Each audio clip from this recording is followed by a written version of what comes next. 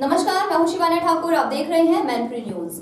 मैनपुरी के transit hostel में press वार्ता के दौरान प्रभारी मंत्री गिरीश यादव ने कहा कि प्रदेश के पूर्व मुख्यमंत्री अखिलेश यादव को देश से माफ़ी मांगनी चाहिए, क्योंकि उन्होंने देश की सेना के जवानों को मनोबल गिराने का काम किया है। देखिए हमारे संवाददाता सत्येंद्र तिवारी की रिपोर्ट। मैनपुरी पहुँचे प्रभारी मंत्री गिरीश यादव के ट्रांजिट हॉल में पत्रकारों से वार्ता करते हुए बड़ा बयान दिया। प्रदेश के पूर्व मुख्यमंत्री अखिलेश यादव को देश से माफ़ी मांगना चाहिए, क्योंकि उन्होंने देश के सेना के जवानों का मनोबल गिराने का काम किया है। और विधान परिषद में लिखित में कहा है कि देश की सेना चीन से क्या मुकाबला करेगी, हम इसकी घोर निंदा करते हैं। जिसके लिए अखिलेश यादव को माफ़ी मांगने चाहिए। Bureau report, Mainpuri. राम मंदिर, वहाँ करोड़ों लोग दर्शन करने किसका जाते हैं? भगवान राम का। और किसी दर्शन होता है? दर्शन और किसी का होता है? भगवान राम का होता है, रामलला का होता है।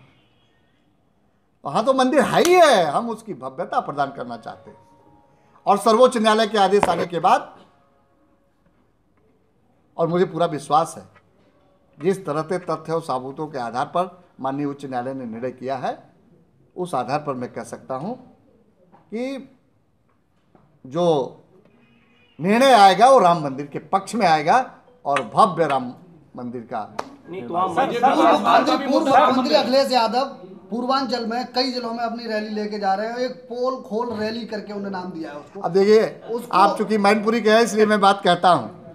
अखिलेश यादव के बयान को मैं उस बात की ज़िक्र भी करना चाहता हूँ। मैं विधान परिषद में था क्योंकि नगर विकास विभाग के प्रश्नों के उत्तर की ज़िम्मेदारी हमारी।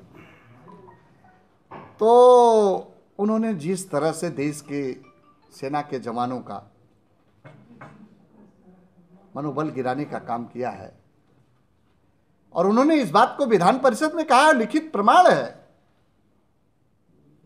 कि देश की सेना चीन से क्या मुकाबला करेगी। ये तो देश के सामने उनको माफ़ी मांगनी चाहिए।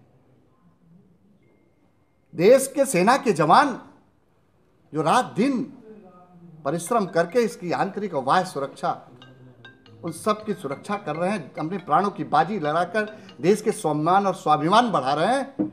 उनके बारे में इस तरह से टिप्पणी करना, मुझे जितनी भी उसकी निंदा की जाए, वो कम है और उनको देश के सामने इसकी माफ़ी मांगनी चाहिए। मंत्री जी, हम चुनावी रैली की बात कर रहे हैं। सोलह जनपदों में वो उन्होंने अपनी रैली, कार्यकर्ताओं को भेजा है, पोल खोल।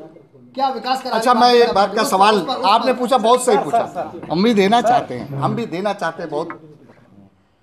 अखिलेश यादव और बहन जी मायावती जी।